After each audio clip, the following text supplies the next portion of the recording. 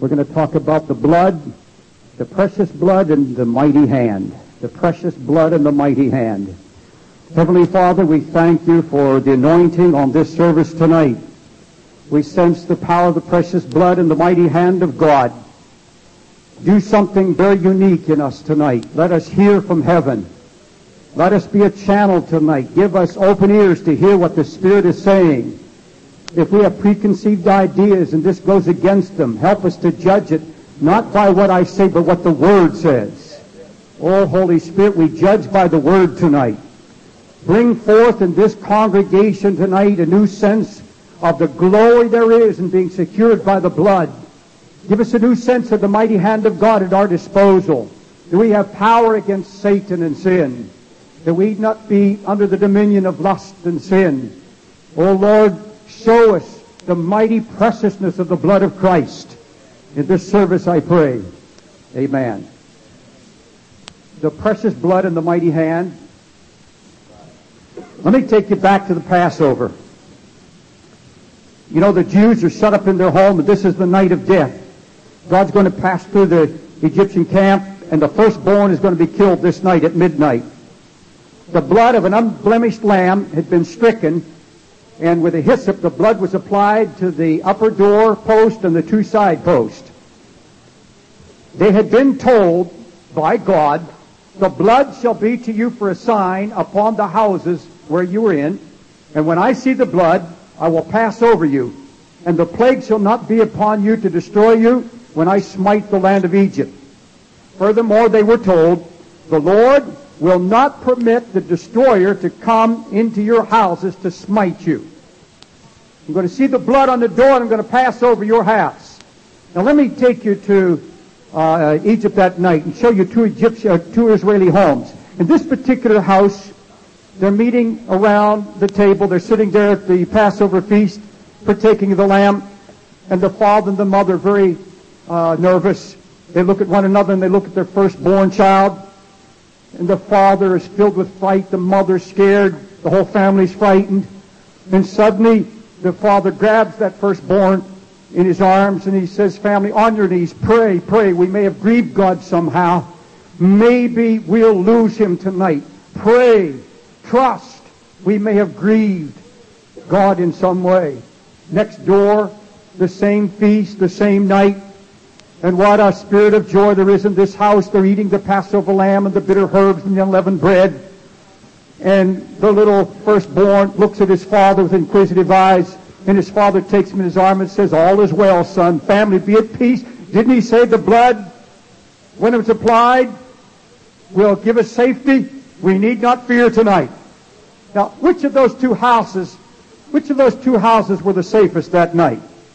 The one where people were nervous and afraid and tenuous, or the one where there was such peace? Which house was the safest? They were both safe. Equally safe. Under the blood, no matter how they felt. No matter how nervous they were. He said, when I see the blood, I will pass over you. It's not how we look at the blood, it's how God looks at the blood. How God looks at the blood. Hallelujah. God was about, God's not about to trust deliverance and safety to our feelings and our fears, not even to our goodness and our righteousness. Their part was simply to apply the blood to their houses and trust God's word that they were secure. Now, they had not as yet come to the Red Sea.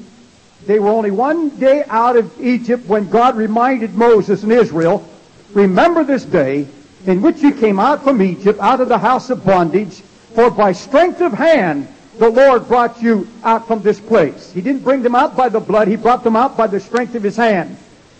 All right, the deliverance of Israel from Egypt is a very clear type of our deliverance as Christians from sin and slavery. Now, are these things happened unto them for our examples? And they are for our admonition upon whom the ends of the world are come.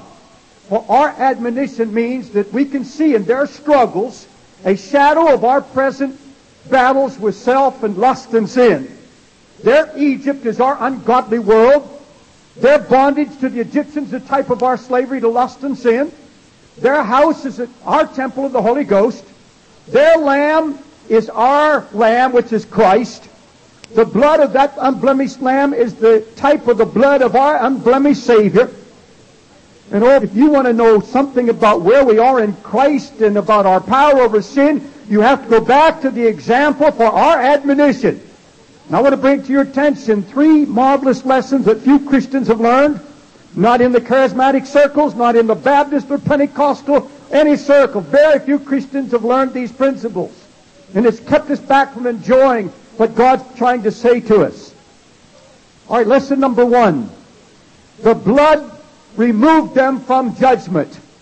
The blood completely removed them from judgment. For I will pass through, I will pass through the land of Egypt. I will smite. I will execute judgment. See, this is judgment day. I will execute judgment. I am the Lord. When I see the blood, I will pass over you, and the plague shall not be upon you to destroy you. This is judgment night. It was frightening. Death was coming. And what weeping and wailing and gnashing of teeth throughout Egypt that night. The Bible said there was not a house where there was not one dead. There was a dead son in every house in Egypt. Yet that same midnight hour of judgment did not touch a single Jewish home. These Jews were completely secure out of judgment. Some of them didn't enjoy it, some didn't appropriate, some of them didn't understand it, but the blood completely removed them from the judgment of God. Now, of course, there was obedience involved because they were to stay in the house under the shelter of the blood. But it was the blood alone that placed them out of judgment. There was no goodness in these Jews, not at all. The very night God said, pack your suitcases and your satchels, you're going to leave, they packed idols in those satchels because later they were called upon to give up those idols. If God had waited for these people to be righteous or holy before he gave them security through the blood, they would have died in Egypt. This was absolute mercy and grace on the part of God because the scripture said that they were unworthy, they were backslidden, earthly minded, gainsaying, disobedient. They were a gainsaying, disobedient people. These are the same people who 40 days later be dancing drunken around a golden calf, and God knew what was in their heart. It was all mercy, it was all grace. God was trying to raise up a people after his own heart that he could reveal his holiness and majesty to. God, David said, it was because you had a favor for them. You loved these people in a very special way. Now, when we talk about the blood of Jesus Christ, there are many lessons that we've learned. But the first lesson that God tries to teach Israel, and it's the first lesson you and I need to know when we come to Christ, is that the blood of Jesus Christ secures us from judgment. Now you know that later Israel would see the blood in a different way. There would be a sin offering, a burnt offering. There would be an atonement through blood shedding. But the first lesson above the burnt offering, the sin offering, the atonement, the first lesson of the blood is that the believer is completely safe from judgment of the blood of Christ. He's safe. Oh yes, the blood of Jesus Christ cleanses all from all sin. The blood is our atonement, but first of all, it is our security. It's God's way of securing himself a people who can be delivered. They were safe but not yet delivered. The first lesson is that we are safe under the blood of Jesus Christ. You know that there was still a Red Sea to cross. There was a wilderness to face. There were warfare. There was a warfare with giants, imposing walls like at Jericho, enemy strongholds to come down. Oh yes, many battles ahead, but first the Lord said, I'm going to secure you before I deliver you. Now you've got to get this lesson and get it well. And I know this to be a fact, and it's taken me 25 years to come to it. I'm convinced that you can't battle the devil or principalities and power. You can't resist any lust or temptation. You can't touch these modern giants of ours today until you have a knowledge that you're secure under the blood of Christ. You can't resist the devil until you know your security in the blood. No matter what my heart condemns me about, no matter how guilty I may feel, No matter what little voices whisper to me, I've got to know beyond a shadow of a doubt I am out of judgment. I am safe because the blood shelters me. The blood of Christ shelters me. The blood on the door of my heart secures me in His sight. It's sad there's not a handful of believers in America today that are resting in the security of the shed blood of Jesus Christ. We come to church we sing, Oh, the blood of Jesus. We sing about the cross and don't have the slightest idea what that blood has done for us. We never enter into the joy and the victory and the glory of its shelter. Sheltered from judgment by the precious shed blood of Jesus Christ. We can't believe that God could look on us because we still have disobedience in us. We still feel our unworthiness. We still feel the staining of our spirits by this age. And we can't accept such marvelous love and grace that He could pick out a people after His own heart and says, even though you're not where you should be, even though there are giants yet in your life, even though I've got to take you through a wilderness, I've secured you under the blood. We're always questioning our safety. You know, if God based your security the way you felt or how good you were, you would be more guilty before God than you were under the law. Because there's a higher claim under Christ than the law. There'd be no man saved. God must take our security out of our own hands so that it stands on nothing but the pure grace of God through Jesus Christ. It's not our devotion, it's not our obedience, it's not our goodness, it's His raw, pure mercy. Tell me anybody in this building that deserved the blood of Christ. Tell me anybody in this building can stand up and testify, I got good enough to have the blood applied to my heart. I finally was obedient enough. I got rid of all the sin and lust, so the Lord finally came and secured me by His blood. You got it all wrong. It's backward. He came to you when you were dirty and filthy in sin. He was reconciled to you while you were out of grace and law. And He came to you in your filthy condition and He revealed His love and He gave you His blood. Hallelujah. Now, if I'm not preaching eternal security because I believe that you can trample the blood, you can do despite to it and be lost and go to hell. You've got to stay in the house. I believe that many, many people trample the blood of Jesus Christ who claim to have been Christians and they're going to hell. They've trampled the blood and it's possible to be lost. You trample the blood.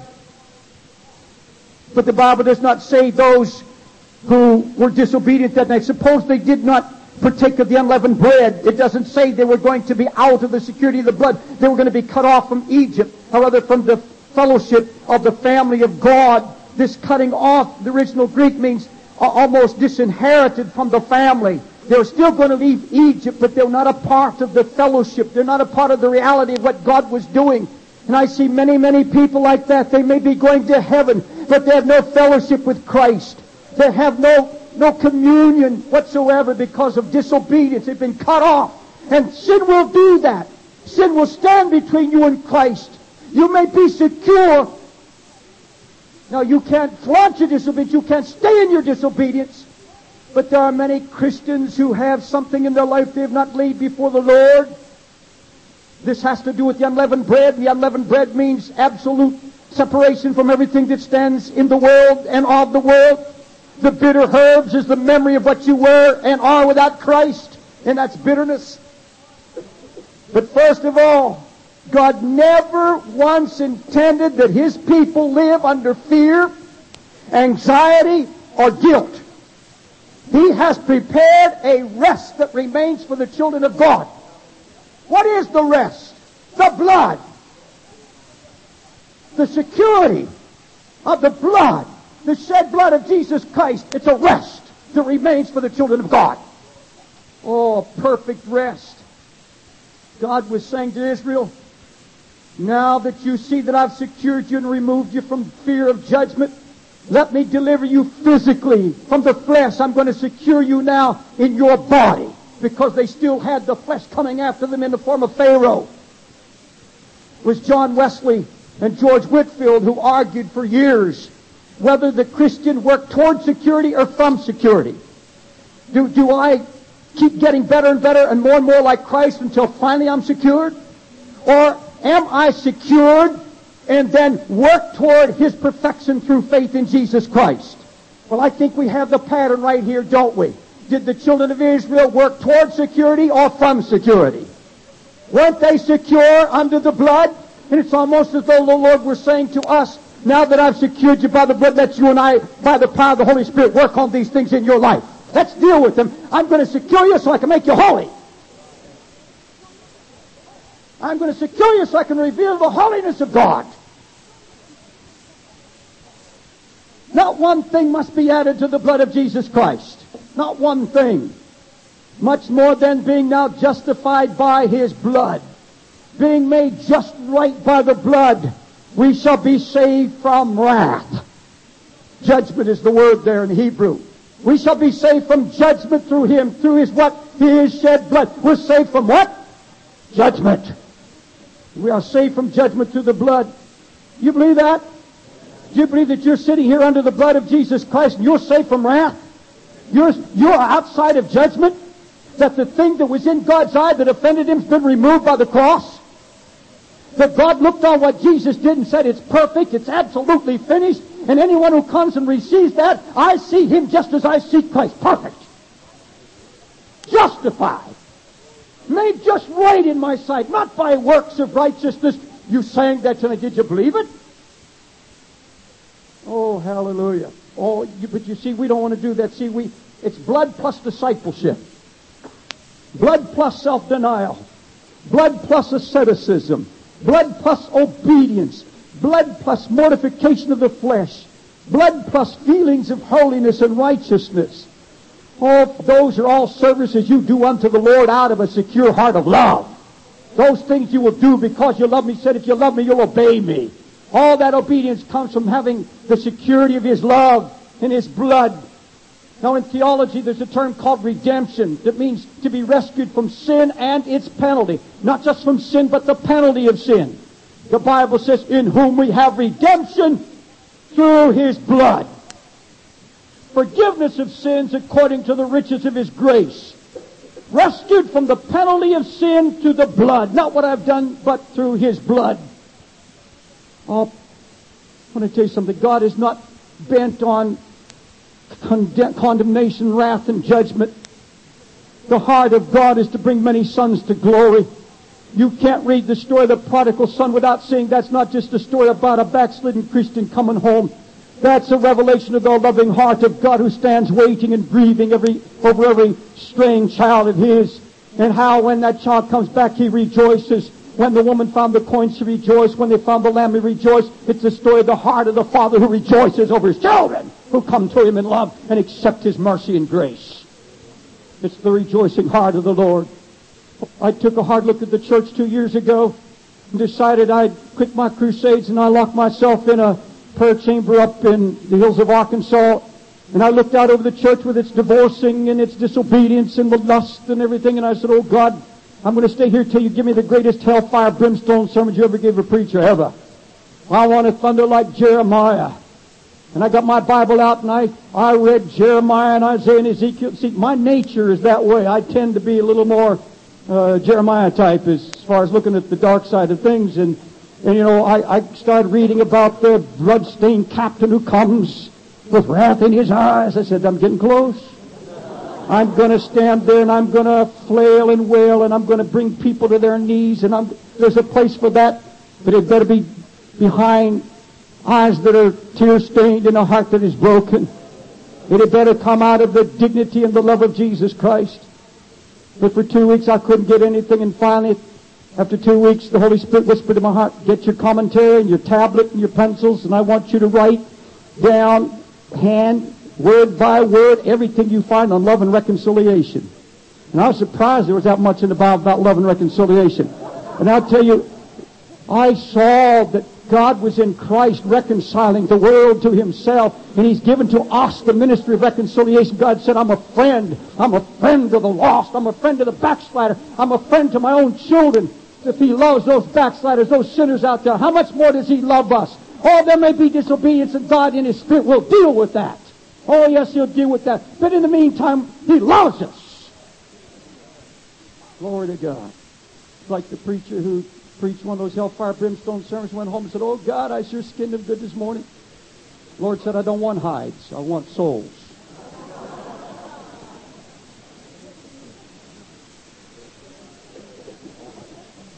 Listen, listen. If you're sheltered under the blood of Christ, you are safe tonight as Christ is.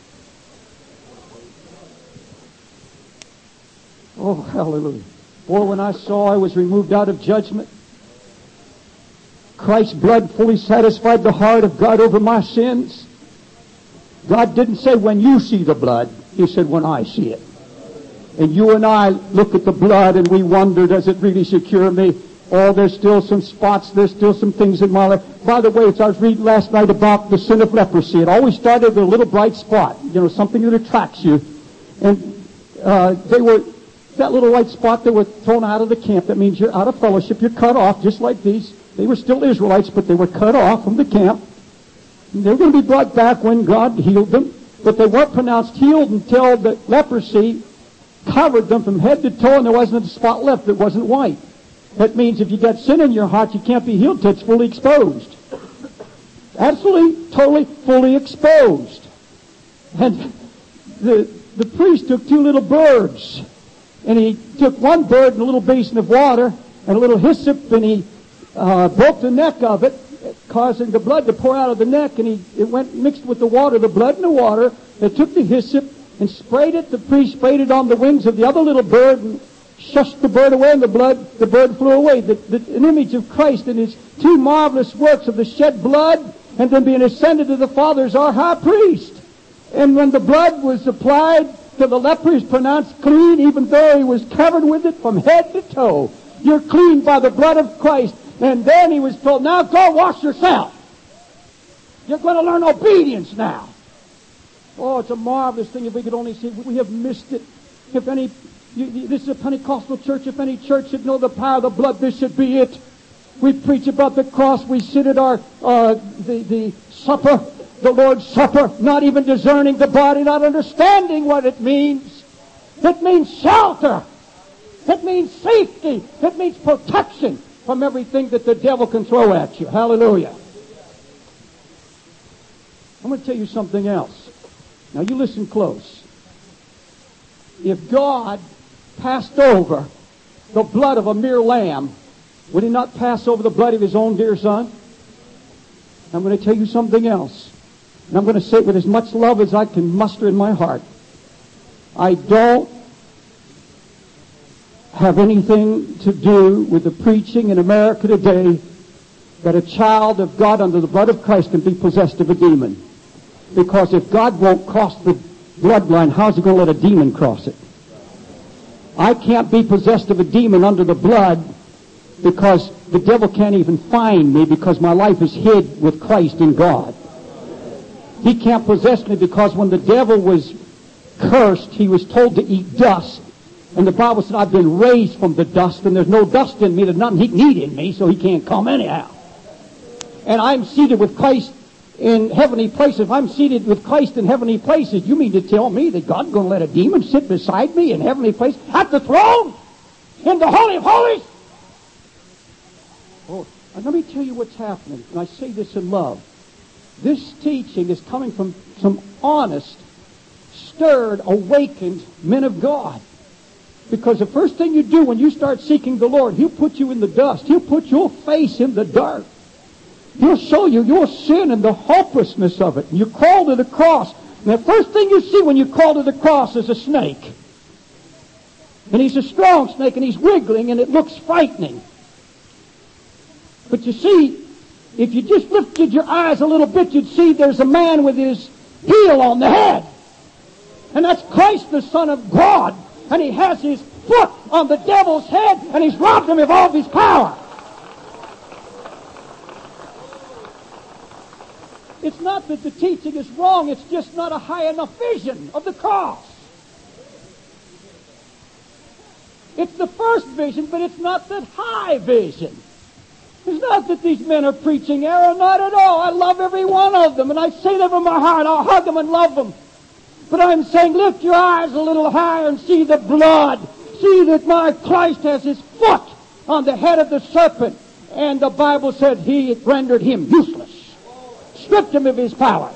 Stripped him of his power. Oh, the blood of Christ protects you from demons, from devils, from everything that Satan can throw at you.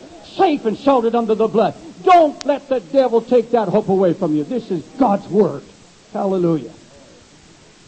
I'm not pass over that blood. You're secure. Now, just about time you think I'm preaching eternal security, let me turn the coin. Now, some of you going go the other way and say, "Well, you you're doing all right there, brother Dave, till you got on my sins." All right, second lesson. They were delivered from Egypt's power by the mighty hand of God. Now listen to me, please. We're not talking now about security. We're talking about deliverance. We're not talking just about the blood. We're talking about power.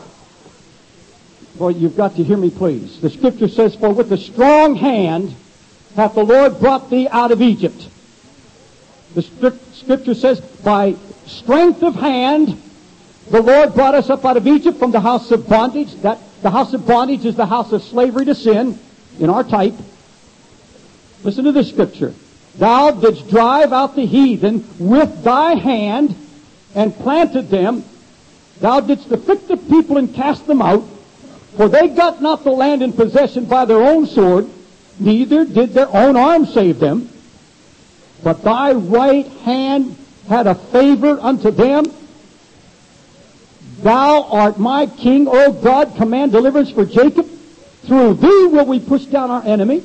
Through thy name will we tread them under that rise up against us.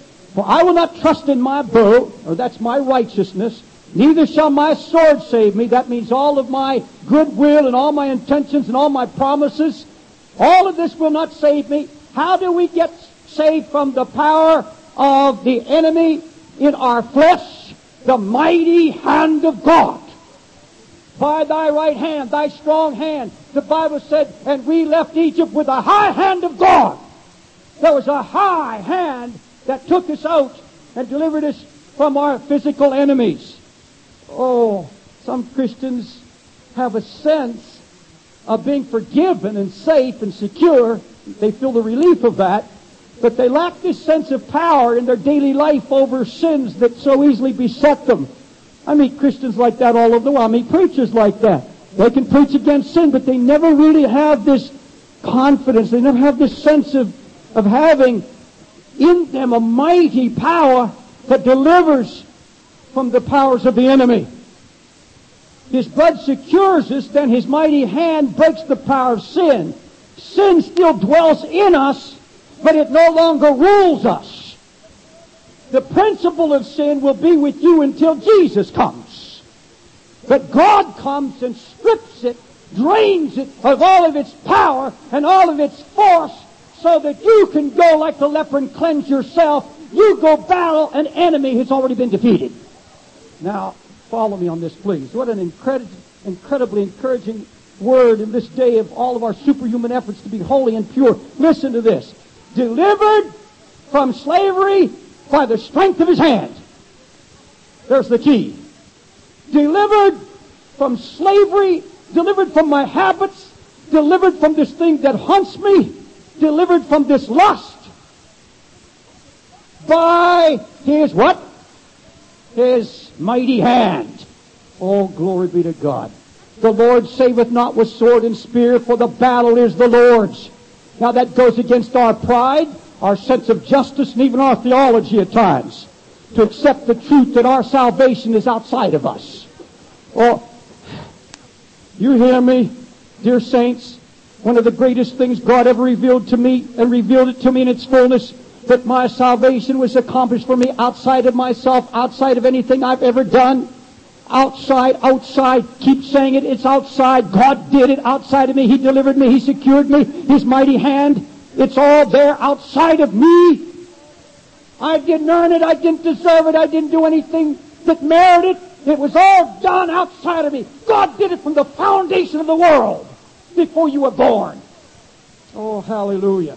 Thy right hand, O Lord, has become glorious in power. Thy right hand, O Lord, has dashed in pieces the enemy. I would imagine you've got enough wisdom and knowledge to know that an enemy's dashed to pieces doesn't have any strength against you. Right or wrong?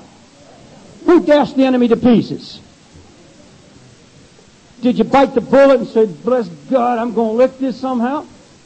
Well, I'll tell you what, if you want to go out and fight it that way, you keep making promises and you say, I'm just going to get a certain quality or quantity of faith and I'm going to make God enough promises. I'm going to isolate myself. I'm going to, I'm going to, uh, I'm going to knock down this flesh somehow. I'm going to get the power over it. Well, you go ahead and go ahead, but God will let you fall on your face and fall on your face, despair after despair after despair, till you realize it's going to take a stronger arm than you have.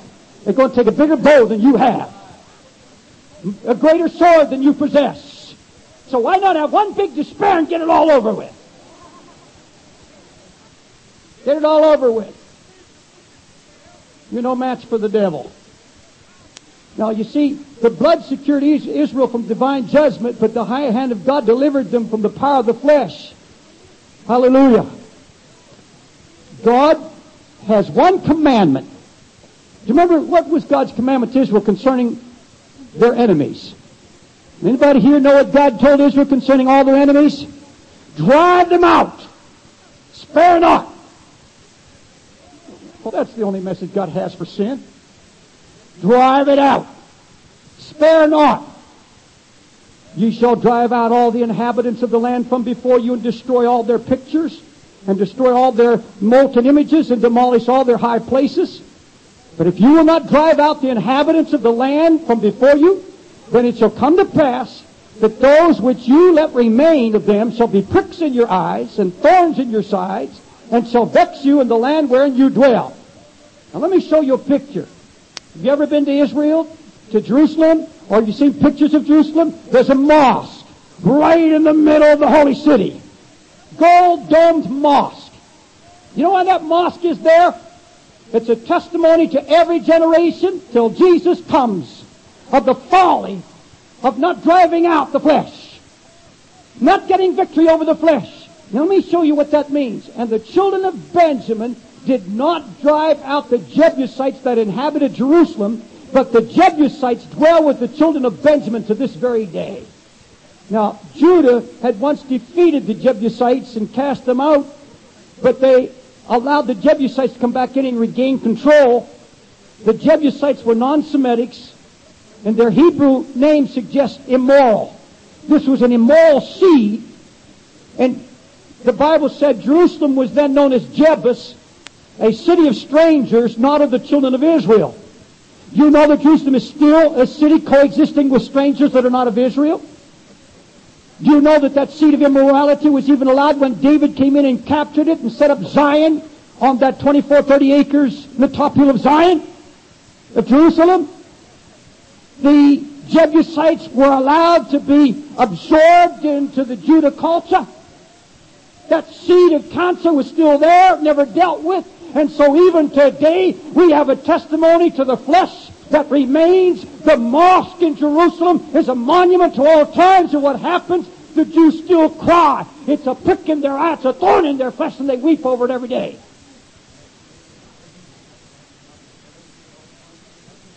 You will never get victory over flesh until you share God's hatred for it. Israel never did share God's hatred toward their enemies. If they had hated their enemies like God had hated them and felt the wrath of God toward their enemies, and God had a reason for that because their cup of iniquity was overfilled. God had dealt with these that were in the land of Canaan. They had the gospel even before. They had turned it down. But they never did share this hatred. They made covenants. They made peace with their enemies. They made agreements with their enemies. They'd been told that if you'll drive out your enemies, and spare not, I'll bring you into land flowing with milk and honey. Because he loved your fathers, therefore he chose thy seed after your his seed after him. He brought you out in his sight with his mighty power out of Egypt, so that you could drive out nations before you that were greater and mightier than thou art. So I could bring you in to give you a land for your inheritance, as it is this day. Can you hear the words of the Holy Spirit for you in this tonight and for me? Listen to it. I saved you. I brought you out. so that I could give you power to drive out from before you all your enemies, and that you spare nothing, that you drive it all out. But oh, but we say, can we not spare? It's just such a little thing, and we spare this, we make an agreement with this, we learn to live with it. No, God's attitude is it must all be driven out. You cannot spare. Because whatever you spare will eventually become the most painful thing in your life. It will prick your eye. It will be a thorn in your flesh. It'll be painful to you the rest of your days.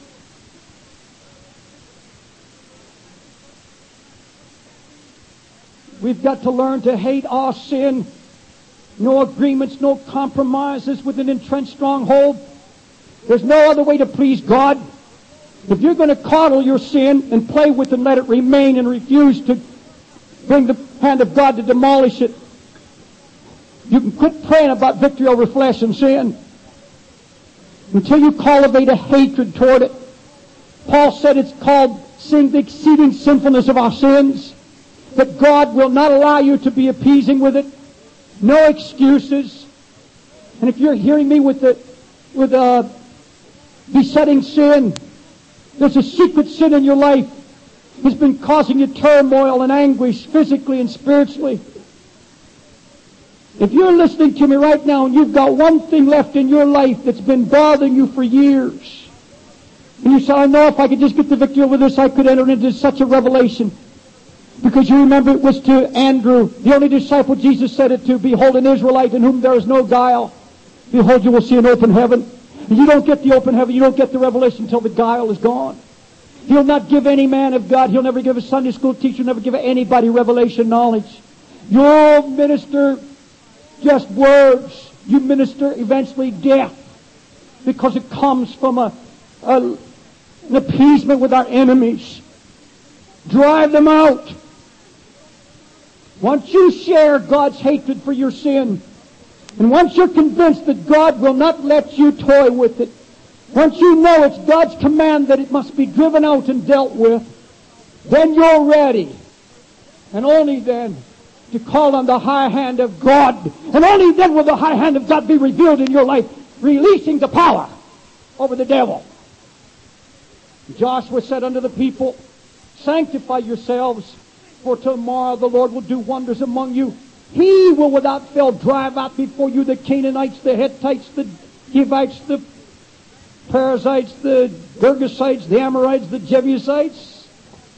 All of those lust, all of those besetting sins are going to go. He will without fail drive them out. He will. He will. He will drive them out. Well, then you go into the Word of God and you see what appears to be a paradox immediately. Bible said he, the battle's his. He's going to destroy and crush the enemy. He's going to put them to flight, not with man's sword or spear. And then, then you look at Israel, you find them taking their swords and their bows and going up and doing battle, doing bloody battle. They were bleeding. They were fighting. It, it, it, it comes back to the age-old question, what is my part and what is God's part? Doesn't it say right here, God does it all? He'll fight with you his mighty arm. Well, well, look what these scriptures say. Then ye shall rise up in the am- from the ambush and seize upon the city. This is Ai. And the Lord your God will deliver it into your hand. Here's another. And the Lord said to Joshua, stretch out the spear that's in your hand toward Ai, and I'll give it to your hand. Your hand. Your hand. And then we got my hand up here, and God says your hand. Then theologians have struggled with this for centuries. Chris, uh, uh, you, you go back all the way back to Augustine, the city of God. That's the, the whole two whole volumes. There's this this great thing, Calvin and Arminian, James Arminius. The, the same battle. What is God's part and what is my part? Is it is my will bound or is my will free? The scripture here says God delivered into their hands. Right, let me try to illustrate it for you as much as I possibly can. You see, God put all their enemies at their mercy, under their power and authority. God divested their enemies of all their strength, and He rendered them helpless, then sent them in to do battle against an already defeated foe. If you had been in Jericho, and you looked around and nobody was firing a ramrod and there were no stones flying and the walls come tumbling down and the city shakes like a mighty earthquake, you think they're ready to fight? Israel to do is round them up. Round them up. I, I saw a picture on CBS the other day, the news account. You know that Iran and Iraq are in a war? Anybody know that? Uh, the Iraqi army had gathered up 2,000 prisoners. Now they, Iran, Khomeini has said they were using nerve gas or, or chemical warfare. All, all the picture showed was thousands of little uh, groups of Iranian soldiers and their weapons piled up. And they showed five or six of the leaders. These, this was Khomeini's inner council that had been in the battle and they'd caught the leaders.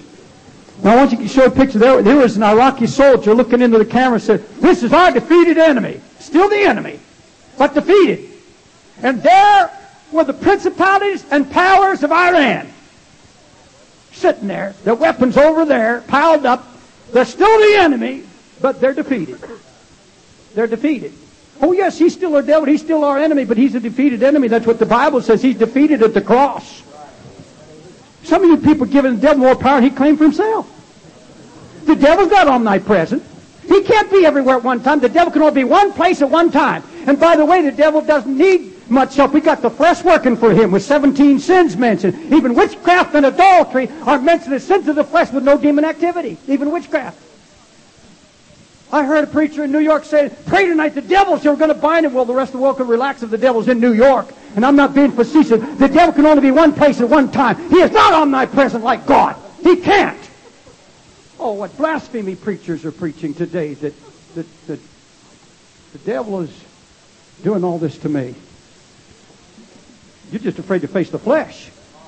And get the victory of the flesh through the blood of Jesus Christ and the strong arm of God.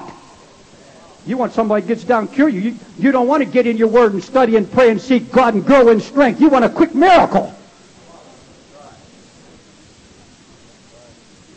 I'm going to tell you, if, if you're a Christian, you had any demons cast out, you better be in that prayer room every time. You better be witnessing for God because if He set you free that way, and I'm not putting that down, there are some Christians demon possessed. It's because they went out of the house. They went out of the house. They got out from under the shelter of the blood. Oh, yes. I know a lot of Christians that way. You know, it was years before I have two sons.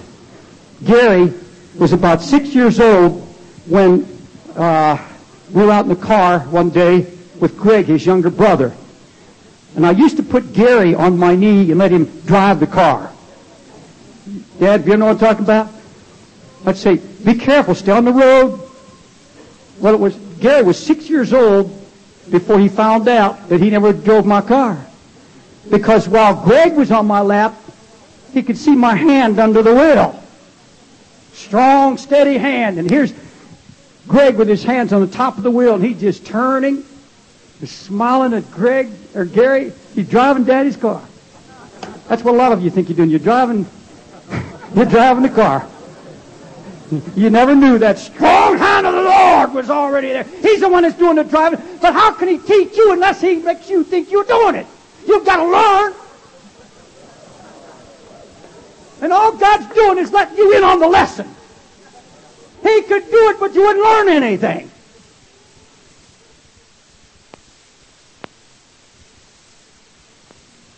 Please turn the tape over for the remaining part of this message.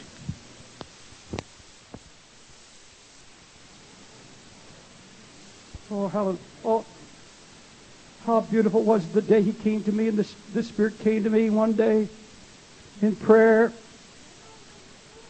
And it was hours before I could come down from the third heaven. And here's what I saw, and here's what I know to be the truth, and I've backed it by the Scripture now. And here it is. I am not at the mercy of Satan. I am not, the, I am not at the mercy of any lust. I am not at the mercy of any sin. Hallelujah. We're to hate our sin, but not to fear it. Not to fear how many people are so afraid of demons. How many people, oh, by, by the way, you know, if, if the, remember what Jesus said about the garden? If, if, if uh, the weeds grew up, the weeds, he said, leave it alone. He said, I'll take care of it. He said, I'll take care of it in my time. Don't you touch it. Might t- pull out some of the, the good fruit. And, and here it is right now. You've got to see this. Oh, it's blessed. You, you will enter into a joy of the Lord like you've never known. You see, Israel feared their enemies and hardly ever appropriated God's power. They never rested in God's word of deliverance to them, saying, my, my hand is going to deliver you. And it's incredible that not one moment when they trusted God were they ever out of his power. He, he worked for them every time. Can you tell, tell me one time that Israel was in trouble with their enemies when they trusted God's word? Was there one time they were at the mercy of their enemies? Oh, God help us, dear saints. Some of us are afraid some lingering thing in us is going to overwhelm us and shipwreck us. And we, we live in constant fear and anxiety that one of these days, after all, I'm going to lose everything. Hallelujah. Sin does not have dominion over God's people. Hallelujah. We're not to, we're not to cower before any giant. We're to stand there with the stone in our hand and say in the name of the Lord, not by might, not by power, but by my spirit, you're done. Hallelujah. Glory to Jesus. You don't have to run in fear from any lust or temptation. God's mighty hand's going to drain it of its power, defeat it. Glory to Jesus. You cannot mortify a flesh in full battle array. Nobody can mortify the flesh when it's in its fury and its hot passion. God has to take the fury out of it before you can mortify it. And God has promised to do that. You don't stand before a devil in full battle array. You stand before a devil that at the cross was defeated and put to an open shame. None of us could stand before that kind of an enemy. The battle is still his. The ar- first of all and above all, the battle is his, and our enemies are first and foremost his enemies. That lust in you is his enemy, not just yours. It's his enemy. Oh, if we could only believe it, there's a glorious place of victory, security, peace, and safety. Lesson number three Christ is God's strong arm in us to deliver us. Christ in us, to whom is the arm of the Lord revealed, for he, Christ, shall grow up before him and root out of dry ground. Christ is the mighty arm of the Lord revealed in us. We're to humble ourselves and yield ourselves to him. The Bible says, Humble yourselves therefore under the mighty hand of God, that he may exalt you in due time. The word exalt here in Hebrew means to lift you to a higher plane. And he said, I'll bring you out into a place, ascension life, above all principalities and powers and over the fury of temptation and lust. Now, Christ in me is not just a tea guest. Come and sip and tea with me. Christ in me is not some kind of a benign, doting, rich brother. He just dotes on me. Gives me anything I want. I couldn't serve a Christ like that. The Christ that I serve, dear saints of God, is a captain of the host of heaven who comes in my heart with a sword in his hand to deliver me from all the power of the enemy. He's an all-powerful king in full battle dress, anxious to stand up against all my lust with me. And he has with him innumerable chariots of holy iron, driven by angels that are armed and ready to defend my cause. The chariots of the Lord are mine, and they're all on my defense. Hallelujah. If we could only see our eyes open, God's more willing to bring you to deliverance than you are to have it. You would just yield to Christ and His power. But like Job, we sit in our ash heap of defeat. We want just enough grace to die right. We don't want to live right, we want to die right. Bless God if I can only make it through. God never intended you just live to die right. He died that you could live right and enjoy the blessing of God. I have one of my converted drug addict pastors with me here tonight, saved years ago in the streets of New York and a man of God. And I was trying to share what God's been saying to me, and I said, you can interpret the whole Bible in an easy way. There's a beautiful pattern all through the Scripture. God has prepared a mighty feast for His children, and His desire is to have everyone around the table eating of the Lamb the fullness of the Lamb, the beauty and the glory and the power and the richness and the, and the admonition, the strength from the Lamb, which is Christ. God's whole plan is for His children to sit around His table getting riches of Christ. I'm not talking about material riches, but growing in the knowledge of the Lord, increasing the fatness of the Lamb. But you see, we're out here, the prodigal son, that we, we ran off with all of the riches of God in Christ Jesus to spend it on ourselves. We made the material. We didn't have real faith, we had Gentile faith. You see, the Bible said the Gentiles seek after all these things. That's Gentile faith. We've got this Gentile faith of materialism. And it's like this, this uh, servant, the bond servant. And oh, it's so beautiful. Lord, just been blessing my heart through it. Can I share with you just a minute? You remember the story of the two, the two kinds of servants? The free servant and the bond servant? And, and if you owed a man money in those days and couldn't pay it, you had to serve him for six years, and the seventh year went out free. And if, if you stole something, you had to pay it back by giving servitude. You became a slave to the master or the person you stole it from for six years. The seventh year, you were allowed to go out free, and the master had let you go into his, his flock and take out all the, the best of the cattle. You were to be loaded down with the wine and the grain, all you could carry. And the Bible said the master was not to feel bad about him going out. And see, I used to harangue against uh, the health and wealth message, the prosperity preaching. I used to harangue against it because I, I, I've dealt with so many starving people around the world, and I work in the ghettos and the gutters, and I see black families. They, they say, pray that God will prosper me. Prosper. I said, what do you mean by prosper? Well, shoes for my kids and food on the table. For them, that's what prosperity is, just enough to eat.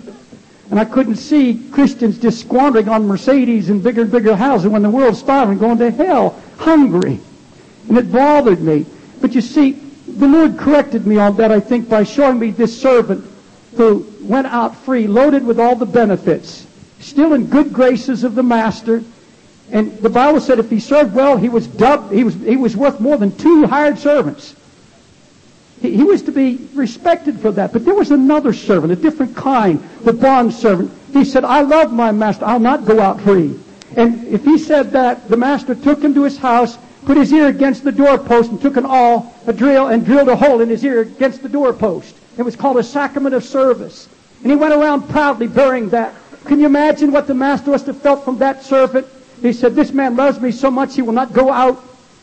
He had a, more than anything else, if he were a son. Remember, Jesus was a son who took on the form of a servant. And if it was a servant, a son who says, Father, I want to be the form of a servant, drew drill my ear. David said, Thou hast digged into my ear. And God said, David, are you going to be one that goes out free without condemnation? Go ahead and enjoy it. You'll wind up dry and empty. You're still a child, but you're dry and empty at the end. And here's this bond servant. He sees these free servants going out loading their cattle and they're turning to him saying, You're crazy, man. These are your rights. Take them. Take them. You've earned them. And he folds his hand. Poor deluded souls. Don't you know I'm eating at the Father's table? I'm going to eat the fatted calf. And don't you know, don't you know what the Father said? Don't you know what the Master said? The servant who serveth well enters into the inheritance of the Son. I'm going to I'm going to inherit all this. You go ahead if you want. I've got it all. I've got the true riches. And that bond servant could watch them all going out. And he says, Master, I'm here. Whatever you want. I'm your bond servant. Oh, that's what I want. I want to be his bond servant. But you can't be his bond servant until you know this, that you are not at the mercy of anything out here in the world. Because you're under the blood. You're not under the mercy. You're under his mercy alone. Nothing else. See, the feast I was talking about, this is the thing that just, I've been reveling in it. Here's the prodigal son. He, he takes his, he's the servant that went out free. And if you go out free, you usually squander it. And you get empty and you come to the end of yourself. And if you've got any wealth at all, you know that doesn't buy you satisfaction. You know, I don't have to tell you that. You can't get any joy out of those things you own. Hmm.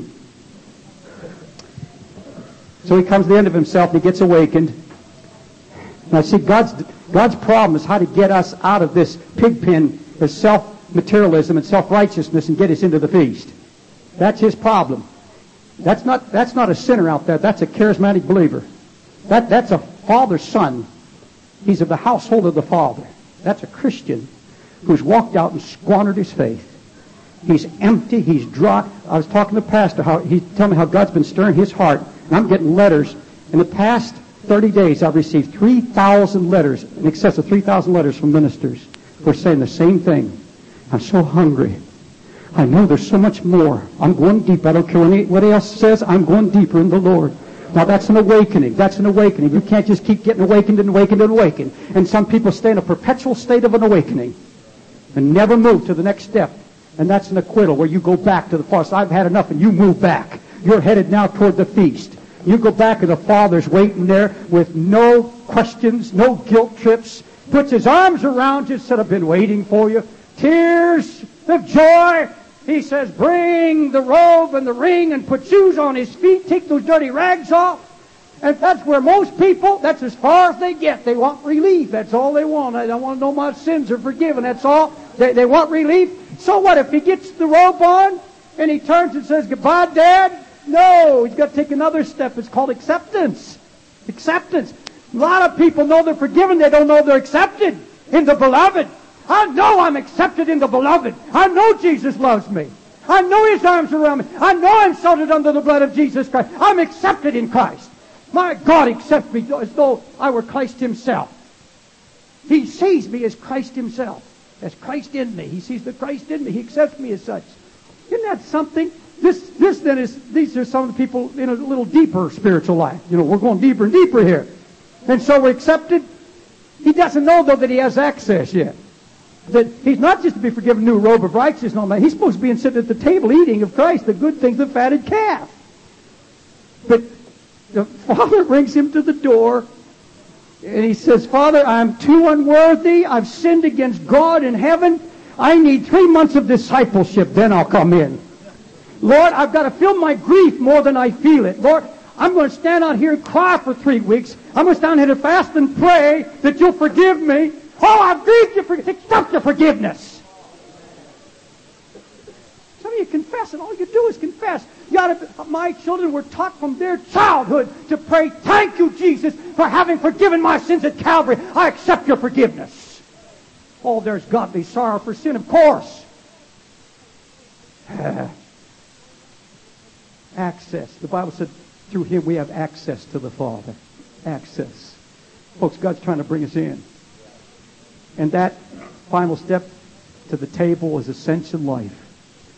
Seated in high places, in heavenly places in Christ Jesus. Seated. I don't have to be raptured. I've been raptured. My hope, folks, I believe Jesus. I believe in the coming Jesus more strong than anybody in this house. I believe in the second return of the Lord Jesus Christ, but my hope is not the second coming of the Lord Jesus. My hope is Christ in me. The hope of glory.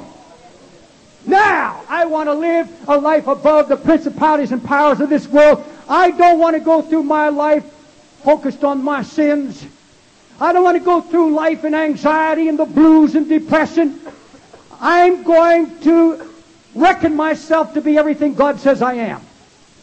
I'm going to consider myself to be everything God said I am. I don't care what the devil says. I don't care how my conscience rages. I don't care how demons rage. The Bible said I'm dead to sin, so I'm going to believe that. The Bible said I'm delivered from the power of sin. I'm going to accept that. The Bible said I'm clean through His Word. I'm accepted in the beloved. I'm alive to God by the Spirit. I'm more than a conqueror in Christ Jesus. I'm secure through the blood. I'm loved and reconciled. I'm kept by His power. I'm faultless before the throne of God. I've ascended in high places in Christ Jesus. I accept that. God said it. I accept it. And once you accept it, you enter into an ascension life. Hallelujah. Something else I'm going to tell you. Jesus isn't coming for me like a thief in the night. That was a message for Sardis. Knew Sardis was backslidden. That was a threat. That was a threat to the church of Sardis because they were living so out of the presence of the Lord. The Bible said he's coming for those who love his appearing. Not as a thief, but for lovers of Christ. Who say, Jesus, you feel all things. I want you to be everything in my life. Hallelujah. Oh, what a rare privilege it is to be waiting, looking, expecting, and eating the lamb all the while. Hallelujah. Passover. Paul said, let us keep the feast. Let us keep the feast of the Passover. Let us eat of the fatted calf. I feel sorry for some Christians who, like the four lepers of Samaria, say, oh, I'm so hungry. I'm so needy. And right out, as far as they could throw a stone, God's mighty hand had already delivered. And there was more than they could ever eat. I mean, God had chased out a whole army and left the camp intact just as it was, enough to feed a whole city. Maybe you ought to do like they did, say, well, I'm so dead, nothing else to do but get up and move. Why don't you move out tonight by faith and say, Jesus, I know there's more. And all, listen, there is more. And what God by His Spirit is doing, He's saying, will you go deeper? Are you going to come into my ascension life? I don't live a crucified life. I live a resurrected, ascended life. I'm crucified with Christ, but I live an ascended life. You can't live a crucified life. You are crucified. You live an ascended, resurrected life in His power and His strength. It's amazing that people will run to meetings all over the country where they can see signs and wonders and miracles. And I believe in signs and wonders and miracles. But what Christ is trying to do for you is what he did for Peter. P- Peter was there when Jesus taught. He'd been there all day, elbow to elbow. And the preaching of Christ at that time had not yet touched him. But all of a sudden he said, cast the boat out. Cast the net out. And that load of fishes that started to sink the boat, it was such a manifestation of who he was. He suddenly saw who Jesus was in all of his power. And he fell on his face and said, Depart from me. I'm undone. I'm unclean. I'm a work of iniquity. One of these days, the Lord's going to manifest who he is so real in our audience. We'll not be applauding. We'll be on our face. I heard someone say recently, there was a meeting in the West Coast, and the well-known lady speaker said, oh, she preached one of her most powerful sermons, and they gave her a five-minute standing ovation. And I thought to myself, if she'd really preached who Christ was, they'd be on their face. Nobody'd be applauding. And all we're doing is applauding him. And when he comes in his righteousness, even a holy man like Isaiah said, when I saw him, I cried, I'm a man of unclean lips. Even the seraphims hide their eyes at his glory and his power. That's why I've never felt very good when I heard God used his daddy. The sovereign majesty of God. There's such a lack of reverence. We don't have an exalted vision of who he is and his greatness and his might and his power. Like Job, we say, I'm righteous, I'm doing right. And God said, just be quiet because you don't even begin to know who I am and the glory. He had to get an exalted vision of the mighty arm of God. See, the message of Isaiah is see God and die. See God and die. I was telling the pastor with this I close. It's been three years now since God got a hold of me in a new way and said, David, you're going all the way or nothing. If you're going to keep my anointing, you're going all the way. And I shut down all my crusades and I began to seek the Lord. And I don't like to talk about what God's doing in or through me anymore. But I do know this, that when I got hungry, and I began to seek Him, I got an exalted, reverent vision. Oh, the holy reverence that came to my heart. Well, when I pray now, I have to lay on the floor. Or there are times of joy when He just lifts me up and there's holy laughter and there's blessing and there's anointing. And oh, we are to praise God. This is marvelous praise here tonight continue the praise. But all that needs to go on to worship where some night the presence of the Lord comes in such a manifestation. We're on our face before Him say, Lord, I've been unclean. I've not been dealing with the sin in my life. I've been allowing things. I've been, uh, I've been making appeasements with the devil. I've been doing things in my heart with the flesh. Lord, I want it all driven out. I want to be a free man. You've got to be more than secure. You've got to be in communion. And if you don't have His righteousness, you have no communion, no fellowship. I would die. I would die on the spot tonight if I lost the sense of his presence. I'd rather die. And if you're a true man or woman of God, you have to say the same thing. You'd rather die than lose the sense of the presence of the Lord. If you've got sin in your life tonight, The Lord wants to let you know that you're not only secure, you've got to come and say, Lord, I want it all driven out. I want it out. Hallelujah. I want tonight the Word, the Word of the Lord to get into your heart. Do you have an exalted vision tonight of His mighty arm? And with this I close. Can you imagine that God would give Israel two silver trumpets?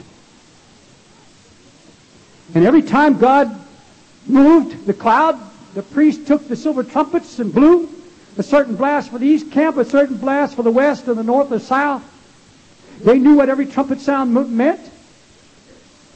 If they moved without the silver trumpet sound, they were under the curse. They were out of the will of God. And Israel did not make a move until the silver trumpet sounded. You tell me that under the law, before the cross, the Lord would give better guidance with two silver trumpets than he will today under the grace of Jesus Christ? Will he not guide us? Will he not give us a clearer silver trumpet? And that's the Holy Ghost. That's the Holy Spirit. He'll lead you, guide you, if you'll just get along with him and give him some time. You're not giving enough time. The one thing we're not giving the Lord is our time. So that we could have him deal with these things. The Holy Spirit put his finger on it to show you the security of the blood and then to bring you out into a life of holiness and righteousness and purity in him through the power of the Holy Spirit. And when Christ came into me, he actually put God's fist in me. That's what Jesus is in me. He's the fist of God against my sin. And I'll tell you something, if the fist of God can't handle it, my puny little work can't do it. So you quit trying to fight the enemy of your flesh and your own strength and power. You begin to call on his mighty name. Hallelujah.